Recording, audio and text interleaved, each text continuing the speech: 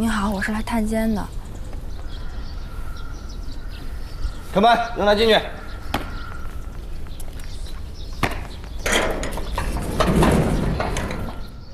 谢谢。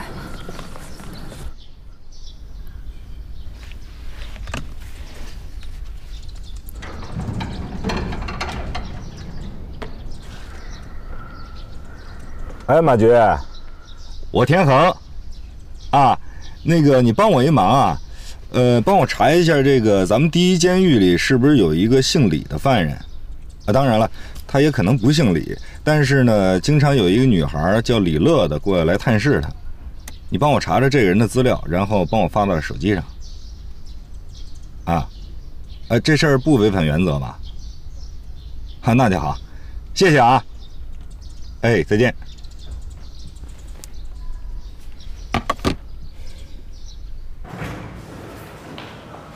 啊，警官，哟，姑娘，你还没走呢？我爸他还是不愿意见我。不愿意。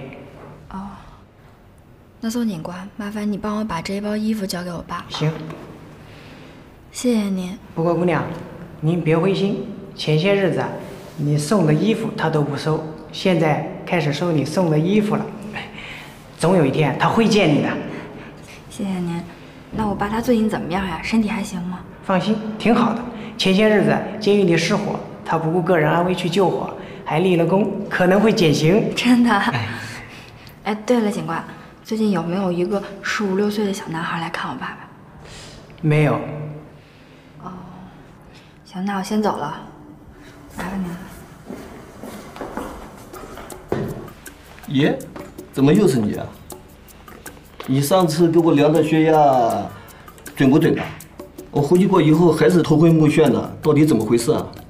啊，我上一个工作几十年的一个老教授，你能不都对我好一点吗？你工作怎么这么不认真？不是曹老师，上回您就是量的血压，也没有做验血生化，也没有做血流变，那个血压光看是没问题的呀。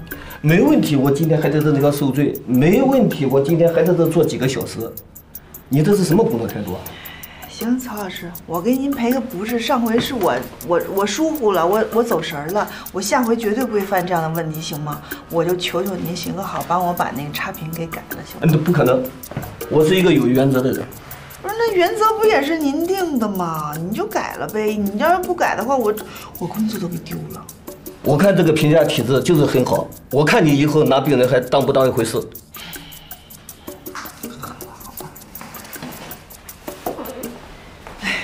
完了完了完了完了！怎么了？房子没了，工作也该没了。我觉得吧，没那么严重，说不定啊，你命里面注定就是住大房子的人。住大房子哪儿住去啊？哎呀，我只能自己攒钱买房子了，命苦啊！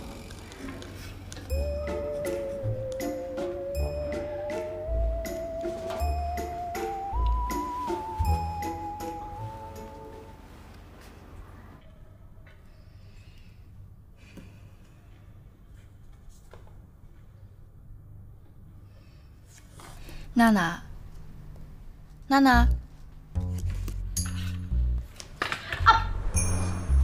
娜娜，怎么了？哎，娜娜，我怎么觉得好像好久都没上梁老师的课了？哪儿啊？前两天不是才上过吗？是吗？是啊。不过我也盼着上梁老师的课。梁老师不仅课讲得好，人长得又帅。行了行了，你又来了。梁老师那是长得帅吗？人家那是有内涵。对，有内涵。哦，对了，你不是说下个星期是你过生日吗？要开 party，你没改变主意吧？改不了。我告诉你，到时候有个特别嘉宾来，你这种大花痴就等着嗷嗷叫吧。特别嘉宾？哼，敢问世间，除了我们家王庚，还有谁能让我芳心萌动呢？哎呦，我服了你了，你继续犯你的花痴吧，我要看书了。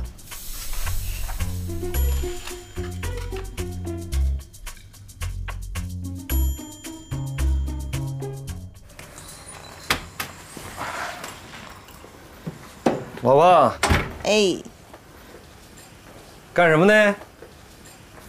呵，别吵我。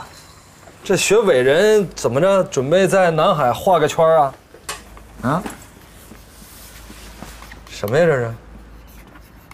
规划图？这是我刚修改好的四年规划图。你看啊，咱们现在呢，等着分房子那是没戏了，必须攒钱买房子。这生孩子呢，也得提前。原来以为分了房子就能生孩子，现在再不生我生不出来了，三十好几了。这要是怀了孕，对孩子也不好，也有危险。哎，咱晚上吃点什么呀？啊？哎，你听我说完了，你再吃。哎呀，饿了，简直就是一只懒驴，牵着不走，拉着倒退。哎，我必须给你上上劲儿了啊！从下个月开始，生活费减半。啊！一共也没多少，不能再减半了。我也减，小同志，你放心吧，够用啊。老婆，你听我说啊，我没有任何不良嗜好，对吧？一不酗酒，二不抽烟，三没有胆量搞女学生。所有的零花钱都用来买书了，不能再减了。二分之一，五分之一，三分之一，四分之一，成交。谢主隆恩。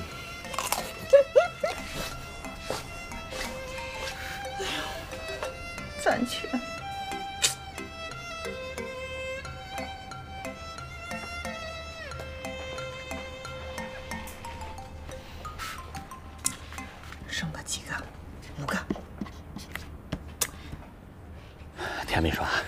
上次那事儿您可千万别往心里去啊！过去的事儿算了啊！哎，上周何副市长跟几个朋友来玩啊，还带了个人。谁啊？姓蒋的，说是你们秘书处的。蒋伟人啊？哎，我看他俩好像关系不错。下次不管他带谁来啊，你都好好伺候着。有什么事儿呢，你直接告诉我。嗯。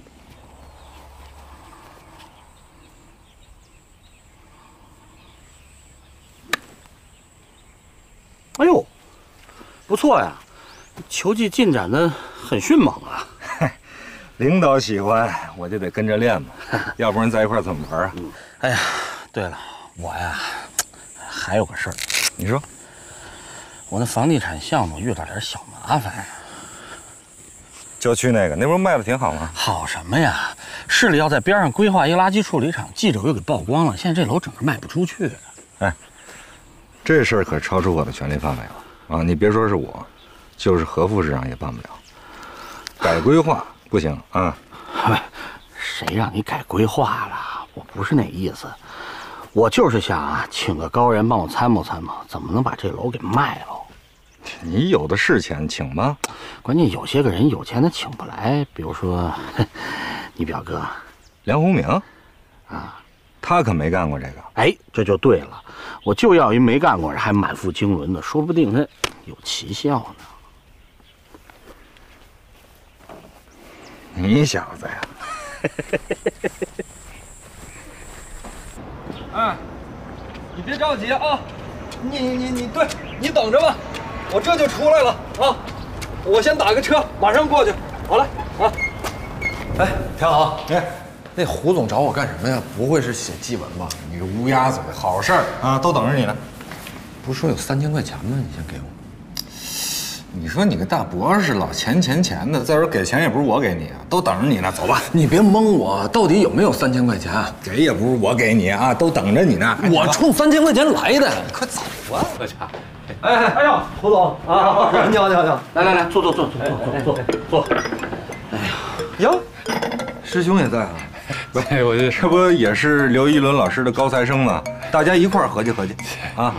刚才没给你好好介绍啊。这位是徽州师大的人事处处长哦，校长助理，未来的大校长。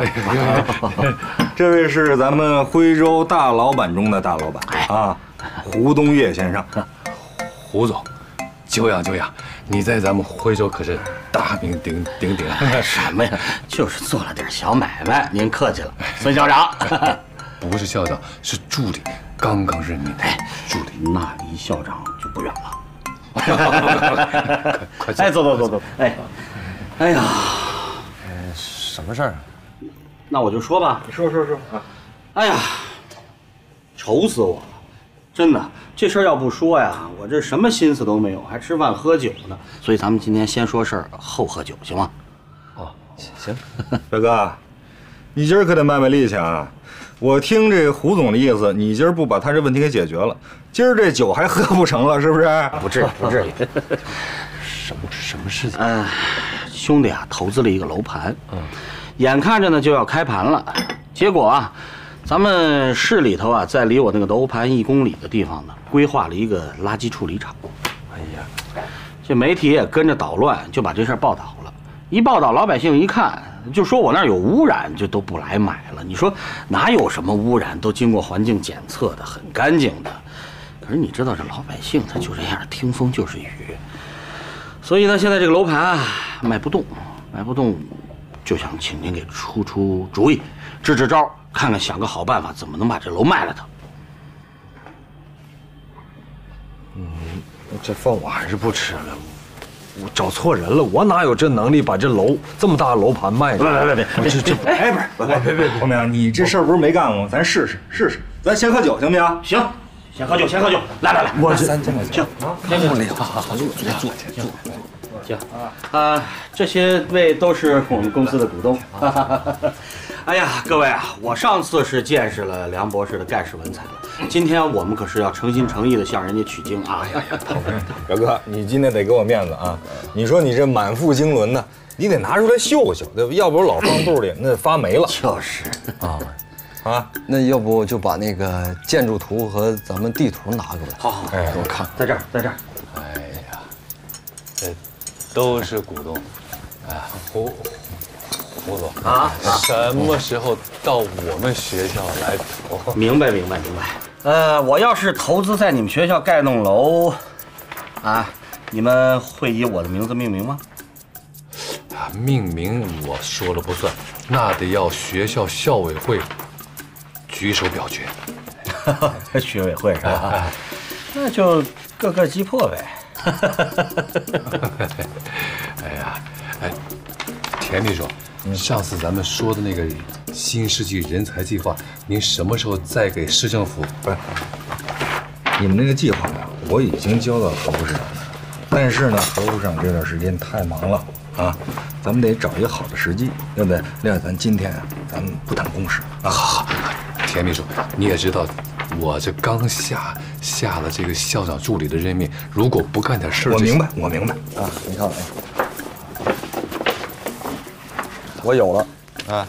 啊，他这个是这样啊，嗯，我这个简单的说一下，嗯，你这个楼盘啊，嗯，现在位于咱们这个市区的西郊，啊。啊，呃，离市区呢确实是有一些距离，但是大家都知道啊，我们这个城市恰似一个元宝，那这个楼盘呢就是在元宝的西陲，嗯，这个楼盘啊有山无水，所以没有灵气啊啊，灵气被压了，你怎么聚财呀？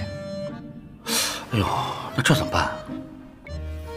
这样，在楼盘里啊挖一个人工湖，把这个湖水呢引到护城河里，嗯，正所谓微风和煦，风生水起，财源滚滚，万事亨通啊！哎，对，小区的名字就叫元亨雅苑。人气、贵气、财气、元气四气合一，你说这样的小区怎么可能卖不出去？啊，好，好，好，好，好，好，哎，好，好，好，好，好哎，这这小区叫什么？叫元元亨雅苑啊，对，元亨雅苑，元亨雅苑，好，好，好，好，好，说的太好了。虽然那个您刚才说的我不是都听懂了啊，但是我觉得用风水学的这个概念包装咱们的楼盘，一定会卖得好的。嗯，周易，哎，管管什么呢？来，我们共同敬博士一杯。来来来来来，好好好，幸会啊，幸会幸会，来来来，幸会啊。嗯，哎呀，高兴，高兴，高兴！这样，咱们今天啊，每人封一个红包，钱不多，一千块钱是个意思啊。哎，不是，哎哎，梁博士得三千呀，是吧？还有那个文化包装楼盘的事儿呢，您还得多费心啊。不给钱也行，给套房就行。哎，好说，好说，好说，只要这楼盘卖得好，怎么都好说。哎，胡总，你可不能这么就忽悠我兄弟啊！说钱的事儿，你跟我谈啊，我是他经纪人啊，经纪人。行，您怎么说咱们怎么办，行吗，领导？哎，别来领导领导的，大家都是朋友啊，互相帮忙，互相帮忙啊！来来来来。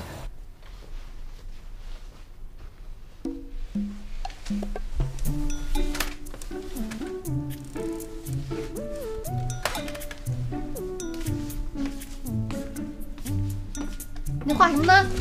没画什么，没画什么不敢给我看，总有一天让我抓到你的小辫子。哦，对了，你生日还有三天，你要请的特别嘉宾到底是谁啊？到时候你就知道了。哎，你快回去睡觉吧，都几点了？快快！神神秘秘。护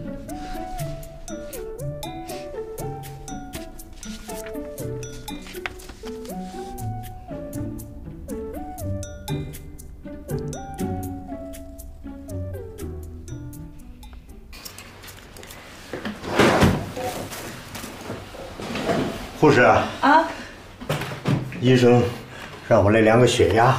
哦，我们这都已经下班了。哎呀，我手抖得厉害，哎，胸口闷得慌。行行行行行，哎，难受。来来来，哎呀，把这个袖子撸起来。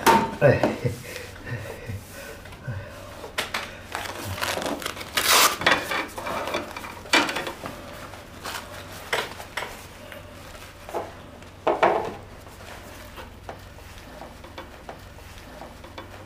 放松啊。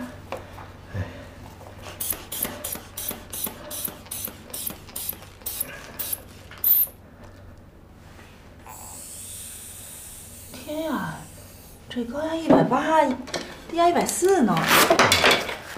你赶紧去找大夫开点药啊！哎，护士啊，我这钱带的不够，没法开药。你这不吃药，晚上会出危险的。那，行了，我陪你去吧，我帮你垫上。哎哎哎，赶紧走。哎，哎呀，真是好人呐！没事没事。哎，慢点啊。红明啊，那个我就不送你了啊，我跟胡总还有点事儿。我送啊，我送。胡总，那这个剩的酒我就不客气了。哎呀，谢谢，谢谢，谢谢啊！胡胡总再会，幸会，幸会，幸会，幸会。甜，哎，甜蜜。电梯，电梯来了。走走走走走走了。再再，哎，慢点慢点，再会再会。好，再见啊！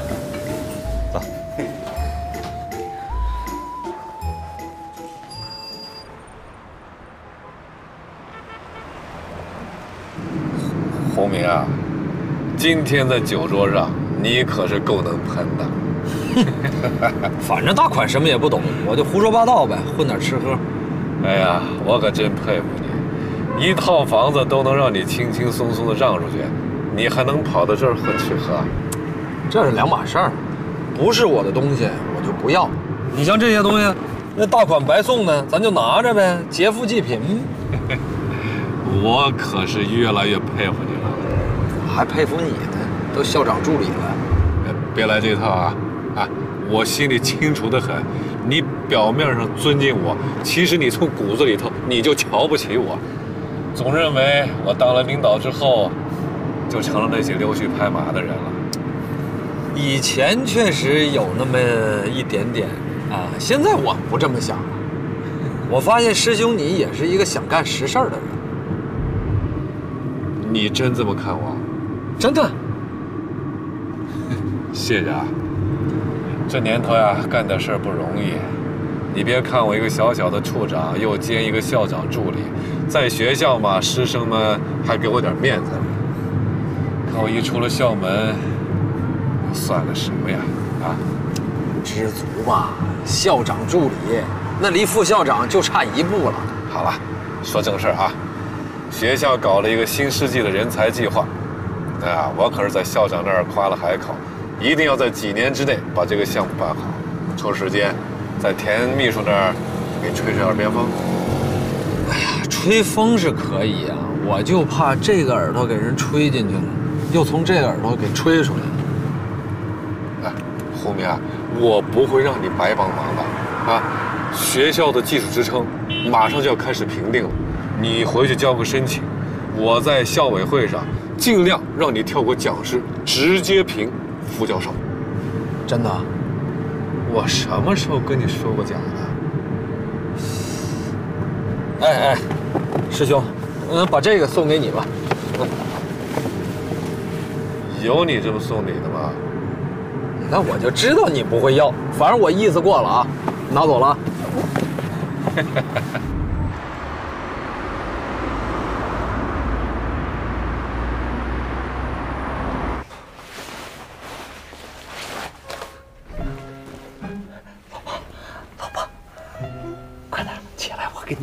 好东西。我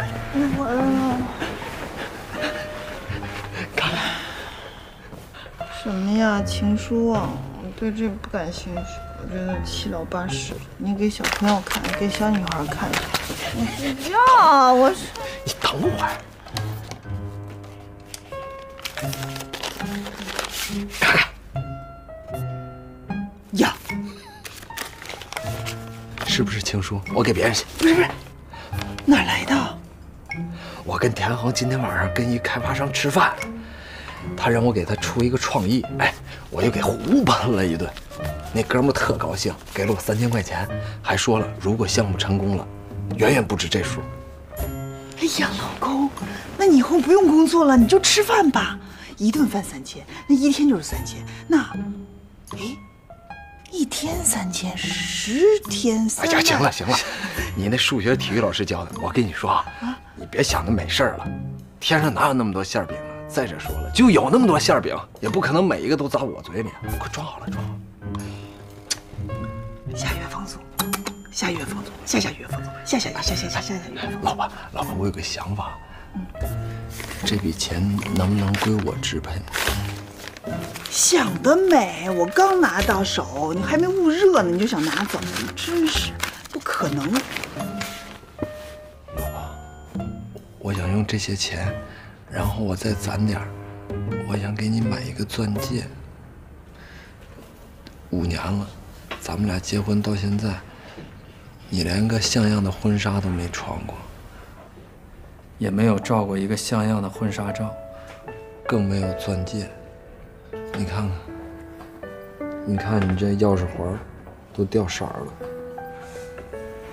老婆，我想给你买个真正的钻戒，就那种能在太阳底下闪闪发光的钻戒。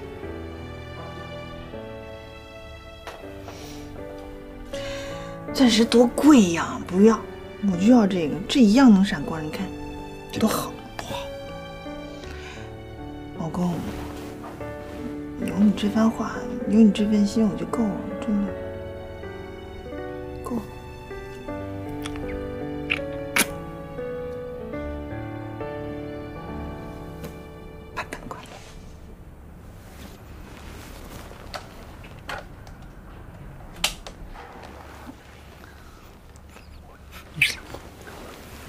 没洗澡。我洗澡。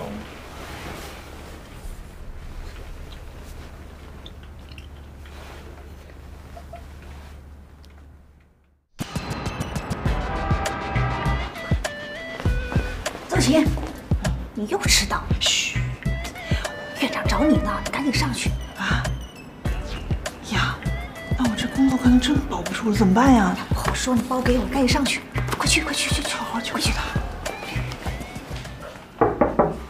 进来。哦，邹琴，院长找我有事儿。我今天跟你谈谈你工作的事儿。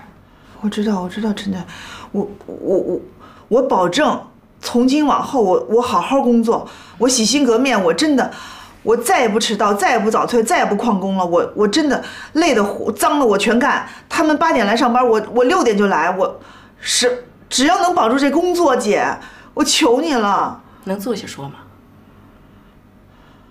快坐下吧。昨天晚上下班前，你是不是接了一位高血压病人啊？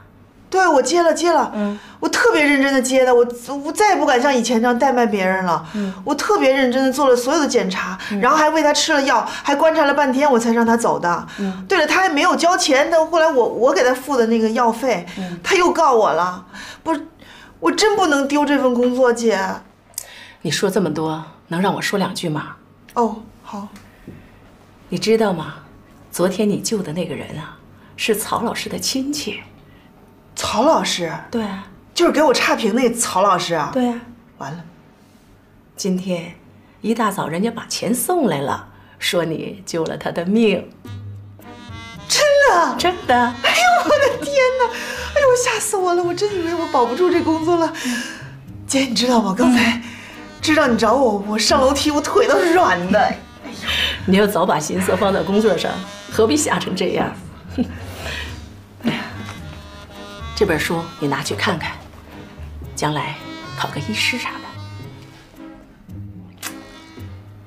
院长你真好，谢谢您鼓励我。嗯，快去吧。谢谢谢谢姐，我走了。我换衣服去了啊。好。梁老师好，梁老师好，好。梁老师。啊，李乐。我几个星期前跟您提过的那件事儿，还记得吧？什么事儿？你看你，你就是忘了。你再好好想想吧。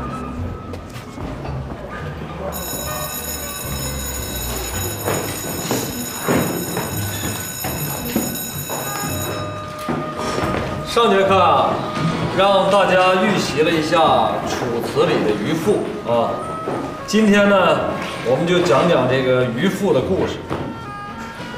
记住啊，这个渔父是父亲的父啊，不是渔夫。原文大家可能都读过了啊，我先问问大家，文章里屈原和渔父，你们更喜欢谁？啊，大家是什么观点？可以畅所欲言的谈一谈。谁想说？怎么就一个人啊？好，你说吧。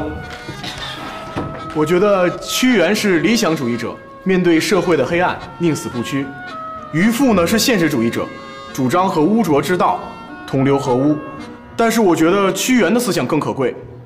如果人人都像渔父那样随波逐流，我觉得这个世界就完蛋了。嗯，讲的不错。有没有其他的观点？平时让你们增加阅读，多看书。好，李乐，你说。我觉得李显亮理解的不对。啊，那你说说你的看法。我觉得作者的内心应该是非常矛盾的。其实渔父和屈原就是同一个人，渔父就是屈原，屈原就是渔父，这只是作者两种内心不同的、自相矛盾的态度。想要坚持的时候，又觉得自我牺牲不值当；想放弃，又无法完全说服自己的内心。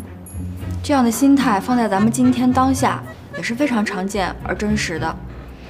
人经常会面对自己不喜欢的环境，做的每个选择都是很犹豫、很矛盾的。就是因为这样，这篇文章才能如此的引起读者的共鸣。嗯，哎，李乐说的非常好啊，让我是又喜又悲。喜呢，是我觉得他能把这首诗解读的这么深刻，让我很欣慰。悲呢，是让我觉得他小小的年纪，居然能领悟这么复杂的人生的这个真谛。行，接下来我们就开始讲啊，我们就讲这个《楚辞》里的渔父啊。沧浪之水清兮，可以濯吾缨。沧浪之水。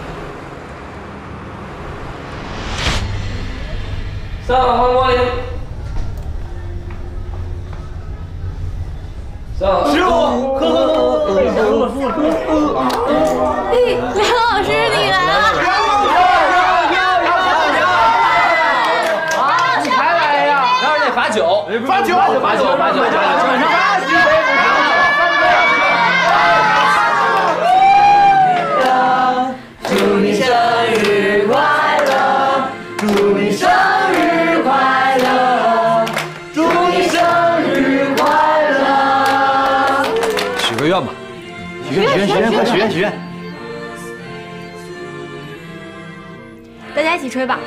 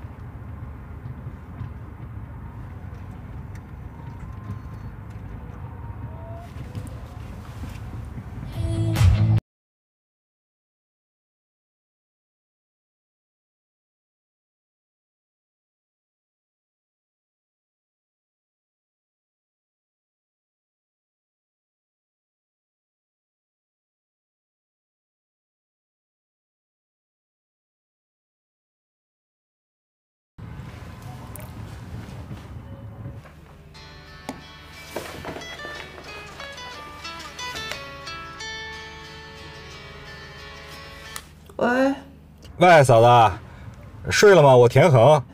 田恒，什么事儿？呃，我打我表哥电话，他怎么关机了？那不是跟你在一块儿吗？啊，不，那个我们俩在一块儿呢。他可能是跑到哪个房间躲酒去了吧？哦，行了，嫂子，你你那个你忙你的啊，我挂了啊。好嘞，我加班呢，嗯。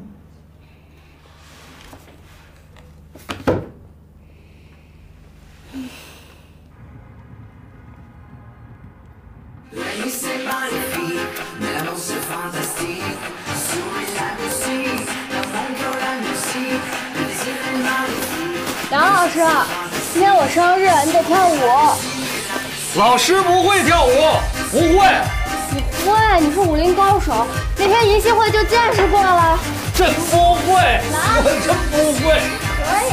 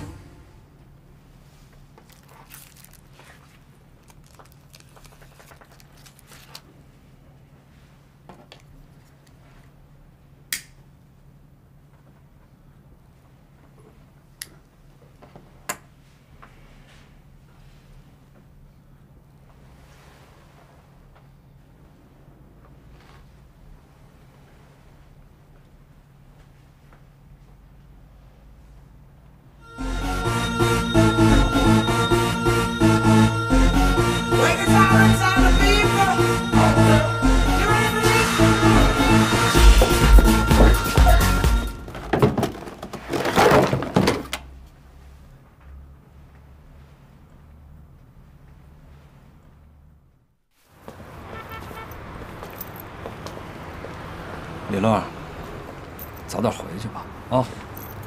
其他同学都回去了。梁老师，你陪我坐会儿吧。好，坐会儿。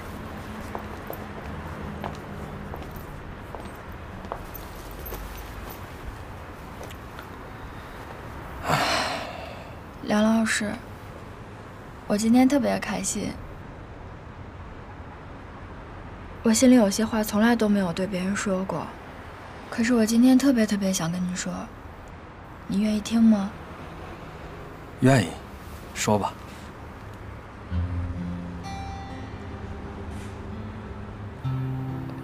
我六岁那年，我亲生父亲就去世了。我妈妈后来改嫁了，怀孕又难产死了。我继父又打人进了监狱。我弟弟又不争气，我能怎么办呢？我只能一个人硬撑着。您不会知道一个女孩养家有多辛苦。我拿着大喇叭在街上给人唱过歌。后来终于考上大学了，有了在酒吧的工作。酒吧是什么地方你也知道，什么人都有，经常有喝多了的人动手动脚的，说我不要脸，说我装清纯。我只能忍着，因为我必须忍着。我要这份工作，我要养家，我要还债，我还要上学。我心里的苦没有别人会知道。可能在别人眼里，我李乐还算是一个乐观开朗的人。可是每个人都有别人不为人知的一面。我每次从酒吧回学校的路上，我走着走着就哭了。可是哭完以后，还是要告诉我自己，李乐，你可以的，坚持住。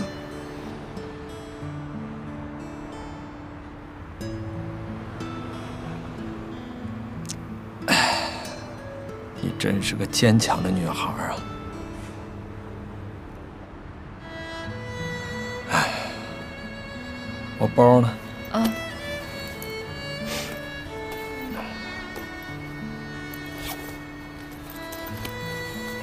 这是老师送你的生日礼物，真的是送给我的？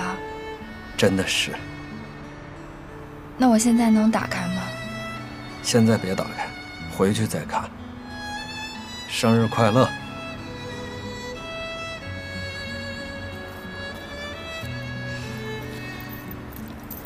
梁老师。嗯。其实我有个秘密想告诉你。什么秘密？我的秘密就是，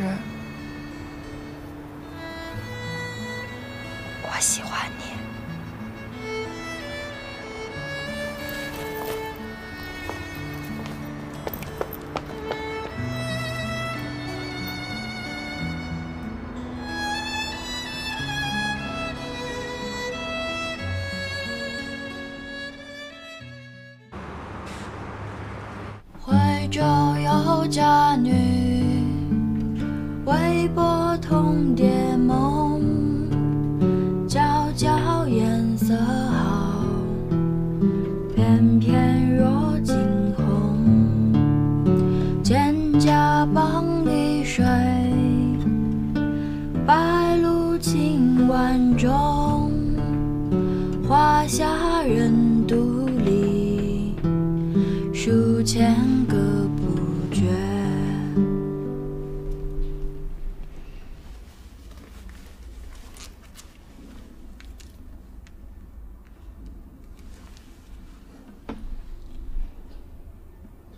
哎，你好，是徽州职业技术学校吗？呃，我想找一下二年级的李果，我是他姐姐，谢谢啊。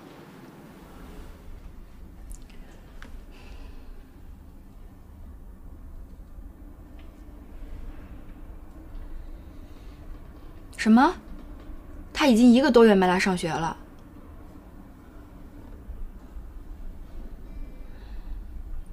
嗯，我知道了。那如果他回来上学，麻烦你告诉我一声。啊，谢谢啊。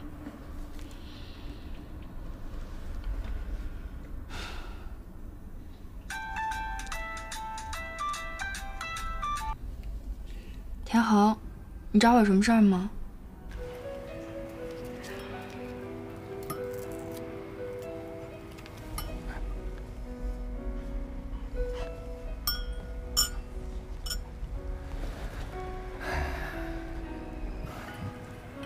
咱俩好久没见了啊！你过生日那天，我找了你一晚上。我那天喝醉了，没看见手机，不好意思。啊我没别的意思，我就是想好好的给你过个生日。谢谢。还有那天从那个酒吧里出来，我真的是喝多了。我一直想跟你道歉，可是你看你老不肯见我。过去都过去了，我也不记得了，我没怪你。真不怪我。我依然把你当朋友啊，虽然你骗过我。嗨，你就是说那首诗的事儿。田恒，你不用解释了，你知道吗？我什么都能够容忍，就是不能够容忍欺骗。我喜欢你，我没有骗你。我每次想到你的时候，我都觉得是一种牵挂，我也觉得自己这样挺奇怪的，但是我不能骗我自己。